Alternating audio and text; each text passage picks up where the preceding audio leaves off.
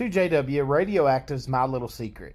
12 2 2019. Full blood doe kid. Sired by Patriots Radioactive. Show Me Boers RRD Patriot over JRB2 Spotlight Edition.